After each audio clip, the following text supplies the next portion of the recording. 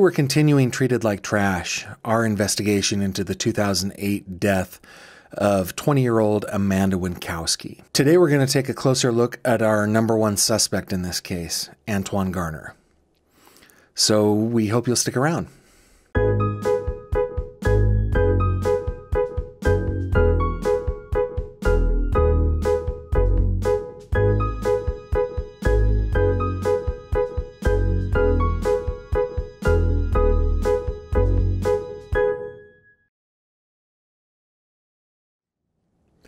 Antoine Garner is currently serving an 18 year sentence at Elmira Correctional Facility, which is in Elmira, New York.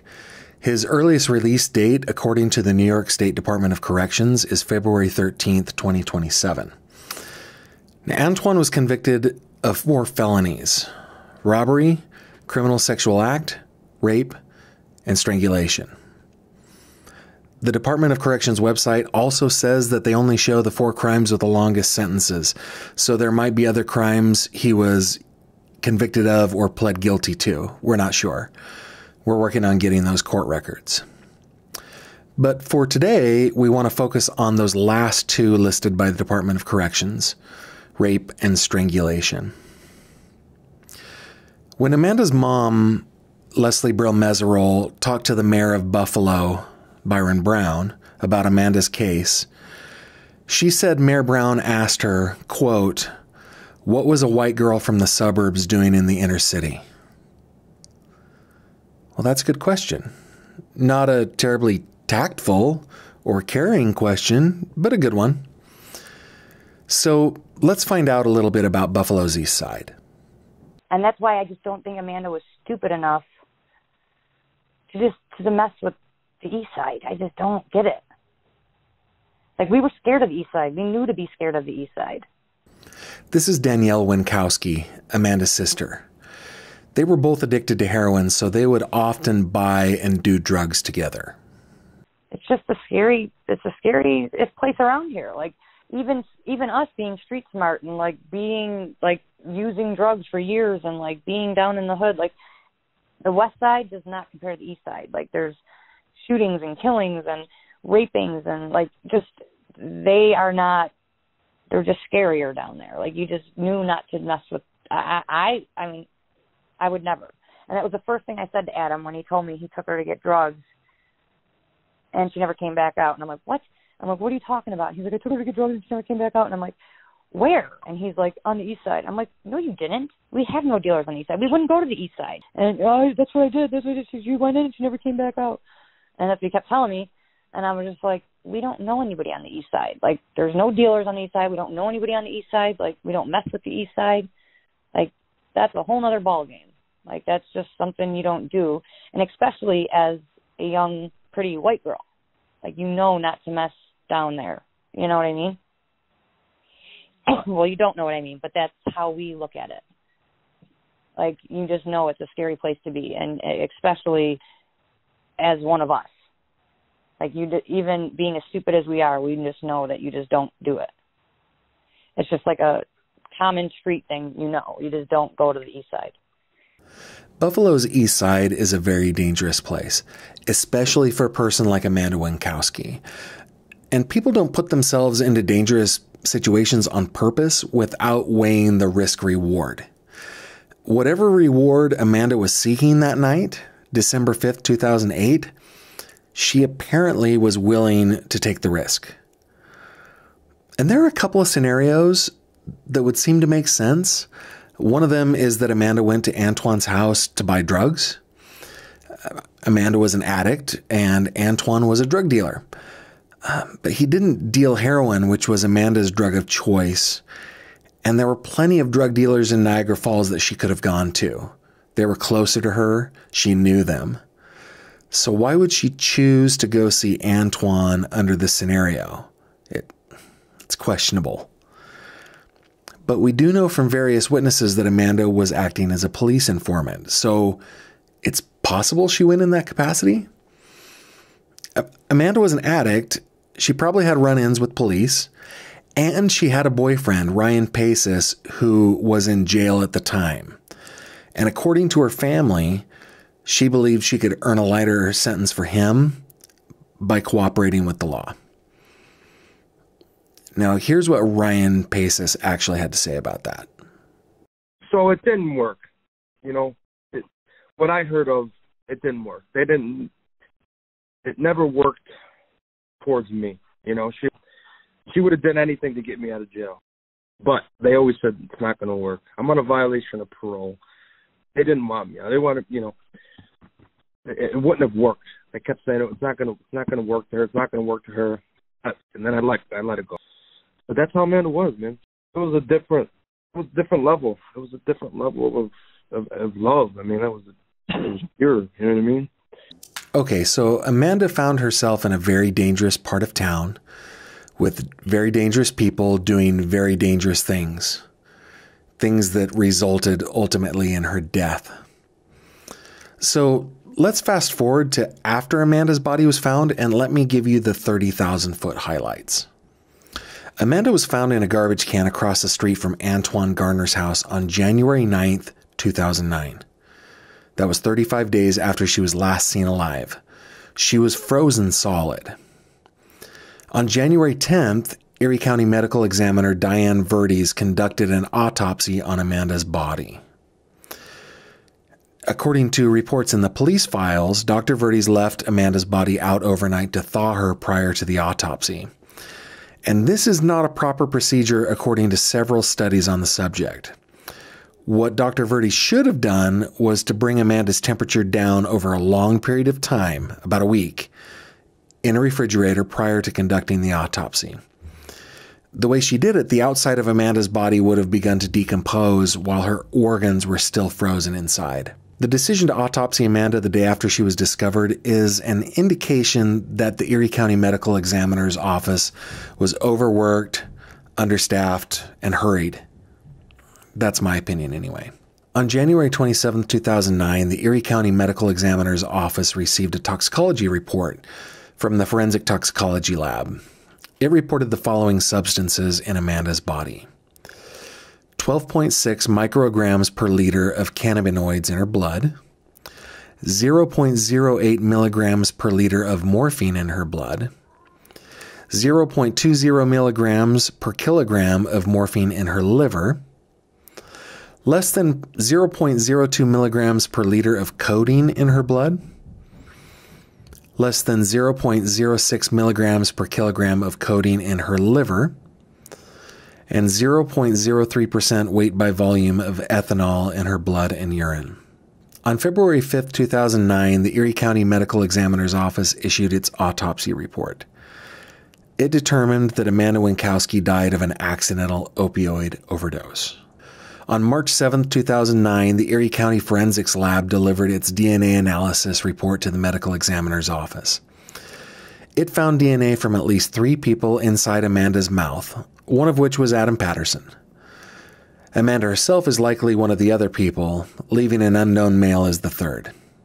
Antoine Garner's DNA is not found in any of the samples sent to the lab in this report. On April 6, 2009, the Erie County Forensics Lab produced a supplemental toxicology report. In it, they found 10.7 milligrams per liter of gamma hydroxybutyrate in a sample of Amanda's blood. 17.6 milligrams per liter of GHB in a sample of Amanda's bile, 18 milligrams per liter of GHB in a second sample of Amanda's bile. Now, GHB is more commonly known as the date rape drug. June 2, 2009, Amanda's mom is advised by a member of a local police agency to have Amanda's body exhumed and examined by an outside ME. She ultimately decides to do it, and the report that she got back said that Amanda was definitely murdered. On June 15, 2009, the Erie County Forensics Lab delivers a supplemental DNA analysis report. In it, Antoine Garner is matched to a hair found on Amanda's buttocks.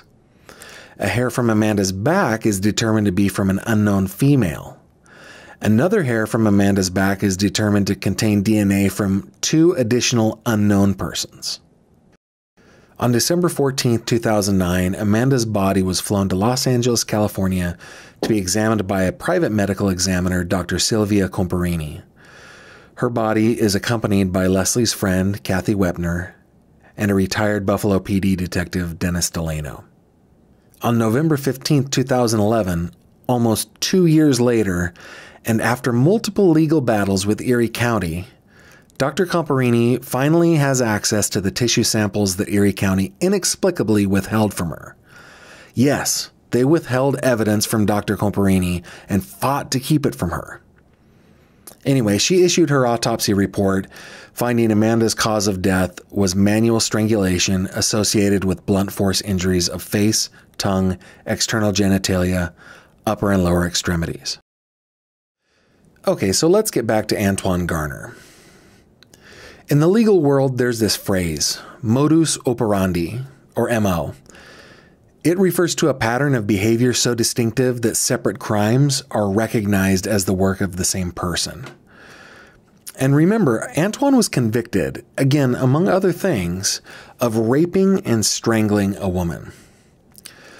But was this the first time he'd ever raped, attempted to rape, and or strangled a woman? The answer is no.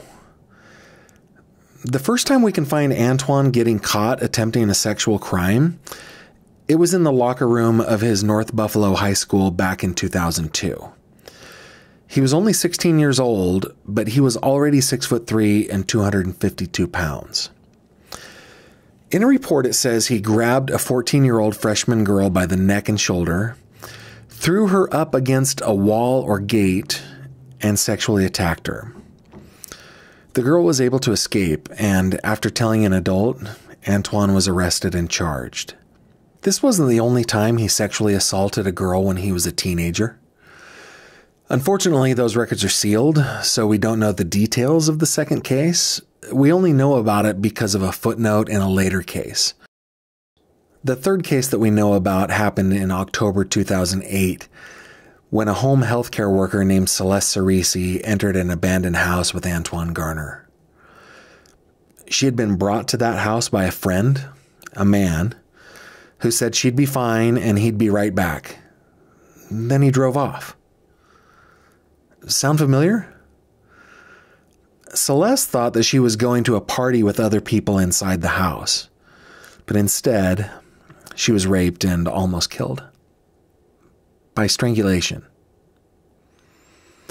In her conversation with police after the assault, Celeste told them he is going to kill someone.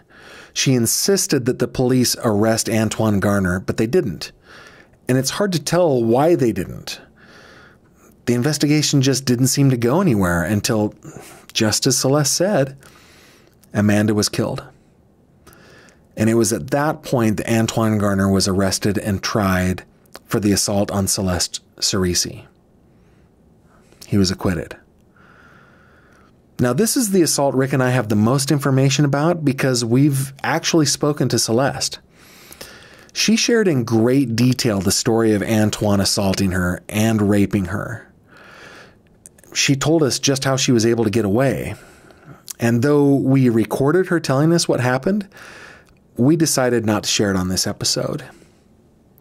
She's given us permission to share it, but we just don't think now is the right time. Um, we find her very credible and we believe her.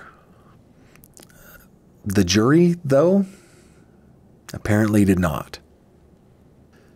In 2011, Garner was tried and convicted of raping and strangling an unnamed victim.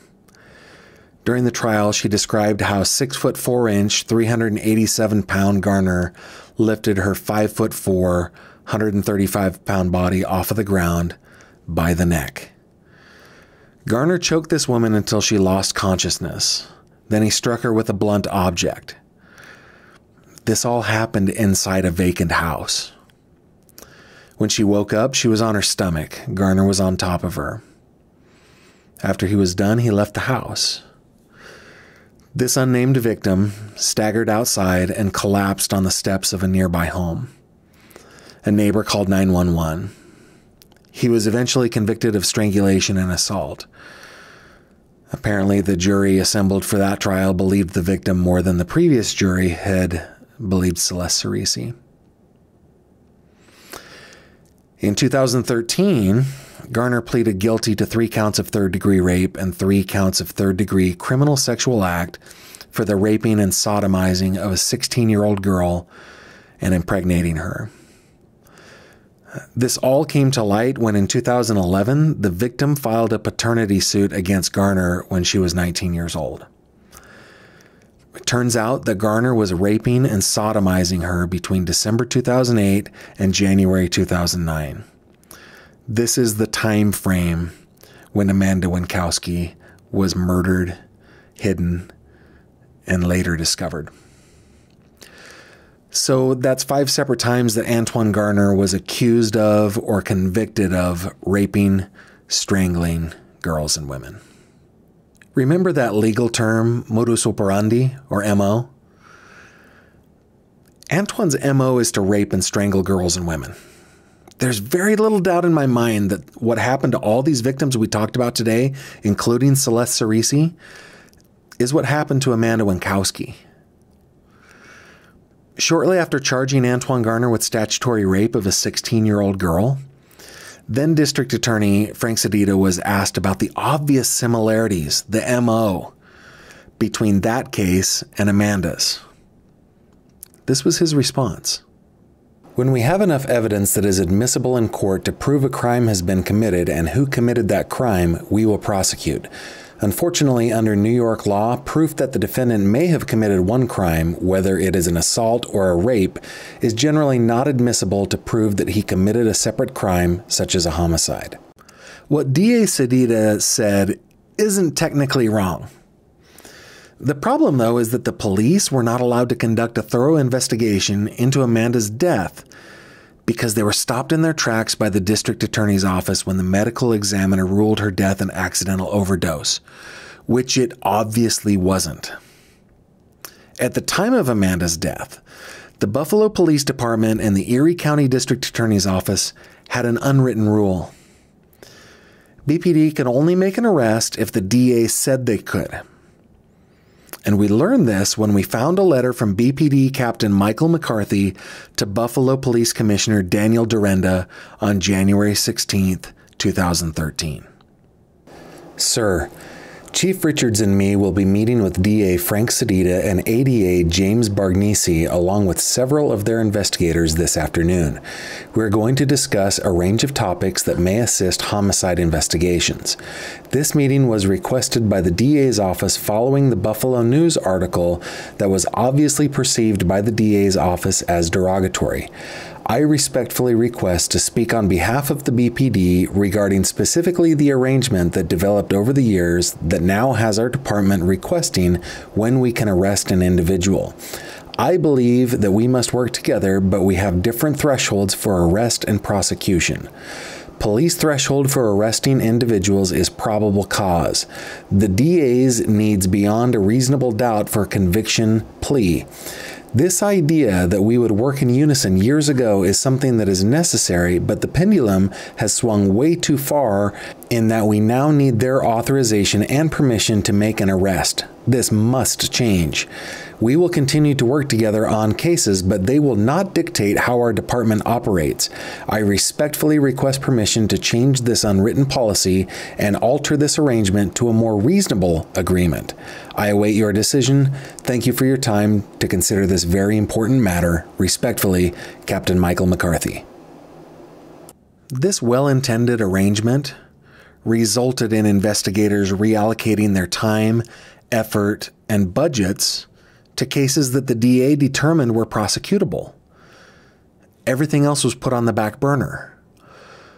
So, for District Attorney Frank Sedita to cry that he can't prosecute a case because he doesn't have the evidence, but it is his office that directly impedes police from conducting the investigations that will uncover the evidence that he needs, would be laughable if it weren't so tragic. Amanda Wienckowski, according to pathologist Sylvia Comparini, was strangled and beaten to death. She was last seen entering Antoine Garner's house. She had Antoine Garner's DNA on her body, the DNA of a known rapist and strangler of women. If the police continue to be impeded from doing a proper investigation, we'll never truly know if it was Antoine Garner who killed her. And Amanda Wienckowski will never get justice.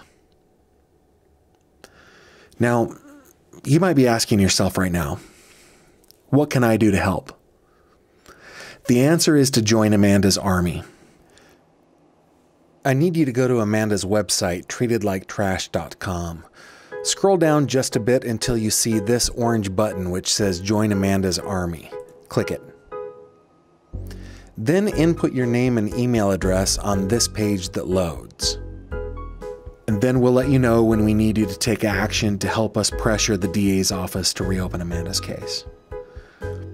And thank you for considering joining Amanda's Army.